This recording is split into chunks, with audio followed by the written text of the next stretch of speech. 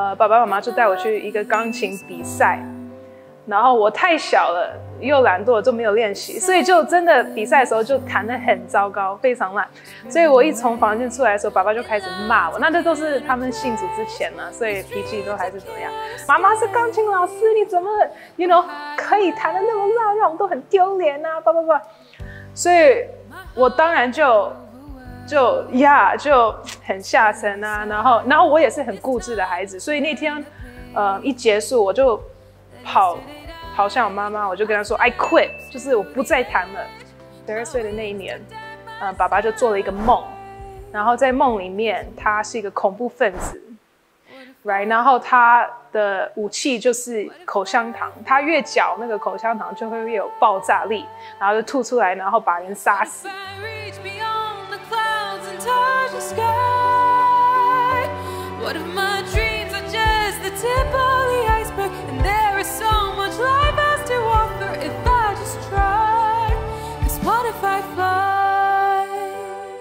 后来他一闭眼睛，他就回到我六岁的那个钢琴比赛，就看到那个事情发生 in slow motion，就是我从房间出来，他开始骂我，然后我的那个脸色，哦，然后因为那样子，我就不再弹琴了，呃，他就发现哦，原来我真的是个恐怖分子，就是原来我的话真的是会伤害到别人，然后也是会让他们或者让他们的梦想死掉这样子，呃，所以那天早上他就。有感动，他就到了我房间，就把我叫醒，然后就说：“Melody，我昨天晚上做了这样子的梦，啊，然后你还记得吗？那个时候发生的事情？”我说：“哦，好像还记得。”然后他说：“那你愿不愿意原谅爸爸？”OK，好，然后他就请我按手在他头上，啊，然后祝福他，然后修身，you know，祝福爸爸可以。成为很好的爸爸，怎么样？怎么样？然后他也就按手在我的头上祝福我，然后就是砍断这些话语的咒诅，stuff。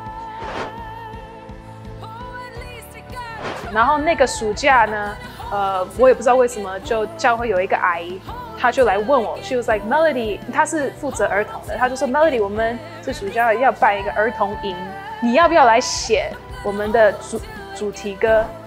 呃。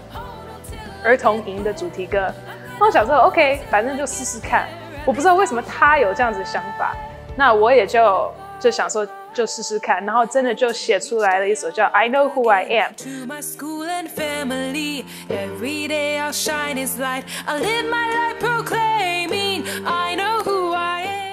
因为我也是儿童，可能我那时候也知道，就是这就是我们需要的讯息，就是。I know who I am。那那神要怎么让我们可以更知道我们的身份啊、位分啊？呃，我们的儿童都很会唱这首歌，然后都还有动作啊，怎么样？So 就很奇妙。那就那暑假就开始写，然后就一直一直写这样，对呀。呃，像我很多歌是因为听到，就是可能有一篇道非常的激励我，或者我没有听过的。一种 revelation，我就会写很多笔记嘛，然后回家我就会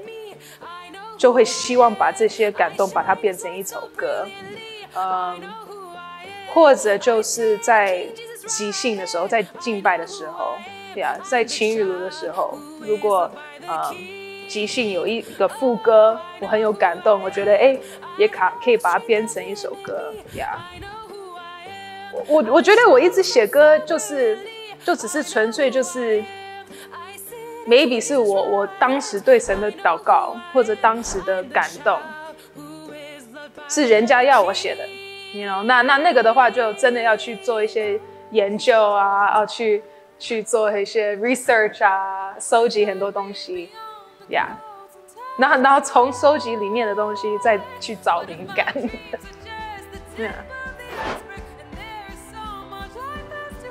应该我是十几岁的时候，maybe 十六岁的时候才真的，我觉得很大的遇见神，或者第一次被圣灵充满，嗯，可能也不算是第一次，但是就是有一次的，我就记很记得有一次的，嗯，敬拜，然后在一个特会的时候，年轻人特会，然后我就跪在那个台前，因为台就在这边，然后我就跪在那边 面对那个墙壁，然后。呃，我就我就记得那次就有哭泣，就真的想要把自己的生命奉献给神。所以我会觉得我真的遇到神是十六岁的时候，但那之前其实去了教会很久嘛，呀。但是 for me，在我真实感觉到神是真实的，然后我愿意摆上一切的那个经历是十六岁的时候，呀呀。然后我们都我都很喜欢邓紫棋啊，因为我知道她好像也是基督徒嘛，然后。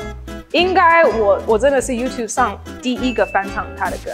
所有音乐设备啊、器材啊、录音这个 even 剪接视频，就是都是自己摸来的。过程我就是，you know，高中毕业我就在教会全职了嘛，在牧主之后我就去了 Bethel 三年，所以我就去了 IHOP 教书。